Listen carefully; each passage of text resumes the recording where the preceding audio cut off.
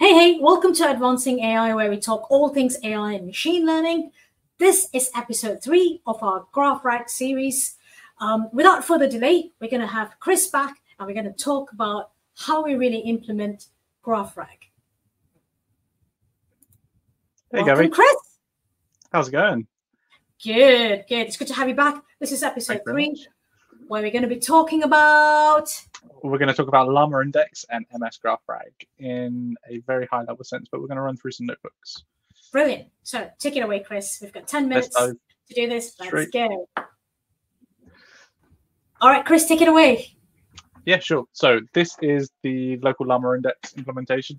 Um, the headings above are just describing what's going on in the cell. I won't go through line by line, otherwise we'll be here for all of the day. So we, specifically in this one, we'll mention that we're using the knowledge graph index, um, simple directory reader to call in our documents, and our models that we're using are Azure, OpenAI, both Text Ada and GPT-4o. Let's move on. So we're also setting some logging. I won't run that as I've just run it, but we've just called in our secrets. So we're using our Neo4j database and our Azure OpenAI and API keys, all of that fun stuff. So we've called those in. We're setting some envir environment variables and using the secrets that we called in earlier.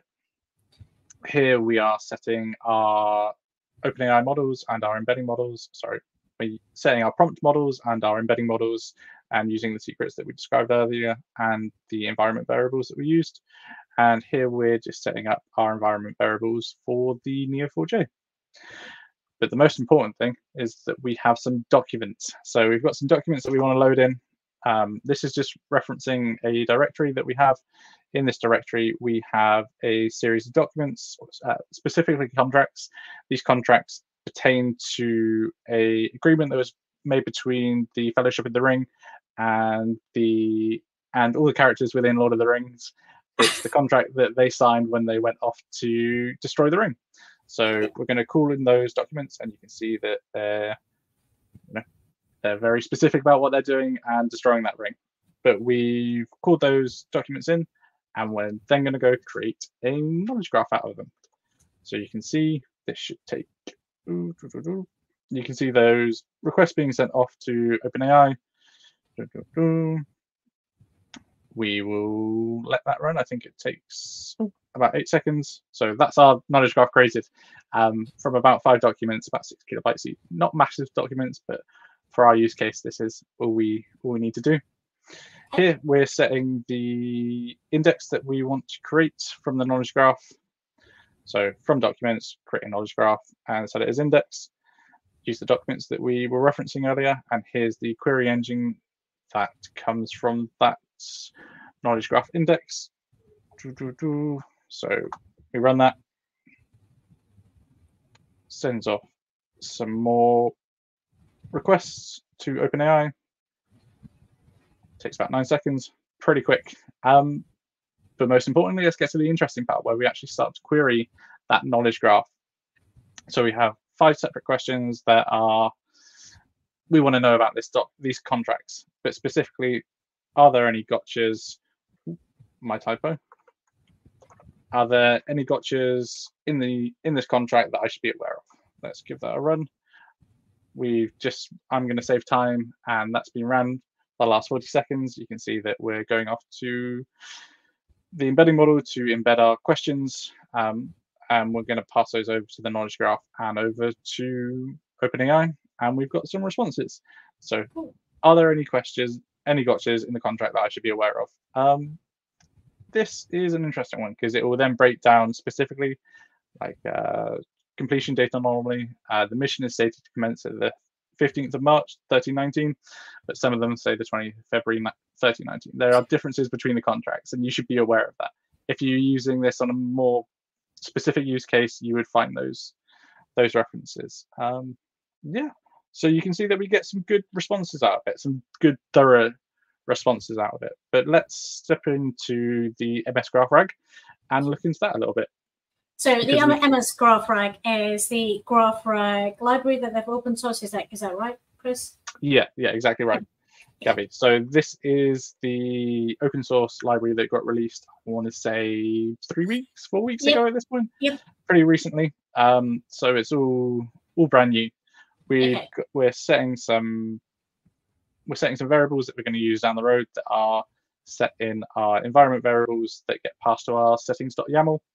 So we've called those in. Here you can see that the same directory of contracts are being used. We're calling those in. We can see the contents of those. We're going to split those documents out and create normal vector embeddings. And we're going to save those vector embeddings as a Parquet. And that's important to remember. So we've got a file that's just holding text and embeddings in the same location that we're holding our graph rag index. And we're going to implement, implement a cosine similarity and embedding search on the on that Parquet, so we can compare a normal embeddings versus a GraphRAG embeddings. And we'll go on to that a little bit more. Um, here we're setting some helper functions, um, how we want to use that graph rag query engine, and here we're setting how we want to use our query. So how we're going to execute our query. So you can see that we're using graph rag query. We're setting that as global, and we're saying summarize this in one to two paragraphs. So you can see that we're using that function ask graph. What is the purpose of this contract? Purpose of the contract. Yep. All when I go, we're getting a response that's detailed on those specific contracts that we're using. Very cool. But I think I think the real power of this notebook is when we come in and pass it a couple questions, and then we can ask embeddings and we can ask graph at the same time, and we can pe- compare those results. So specifically, let's look at which members of the fellowship are consistently list, listed across all contracts, and which members vary or appear only in specific contracts. So this is the vector embeddings. You know, we're, we're seeing everyone we should expect but we're only seeing Gandalf the Grey. I would expect to see Gandalf the White. If you know Lord of the Rings, there's a whole point where he turns into Gandalf the White.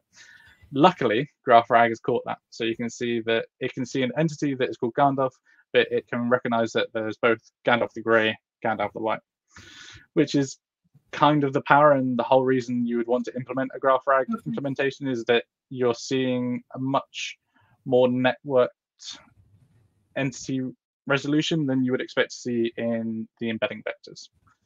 Yeah. Very Gabby, cool. you've got any questions? That was a very high, quick overview of MS GraphRAG Llama Index and the Microsoft version. Well, I've, Um, I've got a question then. So you've showed an implementation with LlamaIndex and uh, Microsoft GraphRAG library. What would you? What was your preference? Oh, very good question. Um, I actually like the LlamaIndex one, Okay. though it's though I've not spent a lot of time with it. The time that I have spent with it has been very. I've got very good results in a very quick time, rather than the Microsoft flavor, which has only just been released. There not much documentation on it. Yeah. From the community, there's good wiki pages, but until people start using this more, we're not going to see more out of it. Does that make sense? That makes sense. Yeah, that makes sense. So the functionality in terms of you know implementing GraphRAG using LlamaIndex and Microsoft GraphRAG library, would you say there's much of a difference? Would you say the LlamaIndex is more performant uh, compared to uh, Microsoft GraphRAG library? Definitely. So the LlamaIndex is definitely more performant. The local Microsoft flavor runs on my machine and stores it stores the Parquet files locally. And I, though I get good responses, good contextual responses, I want to see this in a production environment to see the performance that is out of that. Yeah, makes sense, right? Uh, oh, yeah, it matters. Yeah, cool. I think that was episode three. Very good. So what have we got to look forward to episode four, Chris? What are we doing there? So in episode four, we're going to go deep into LangChain's implementation of Graph RAG. Uh, we're going to see the graph that was created, and we're going to use it a little bit, little bit more maturely, um, in the sense of using our chat history to get responses, that kind of thing. good. So, okay, very cool. Uh, I can't wait. I'll see you in episode four then. So, thank episode. you very much. Thank you very much for coming on, Chris. And I'll see you very soon. Cheers, Gabby. Bye.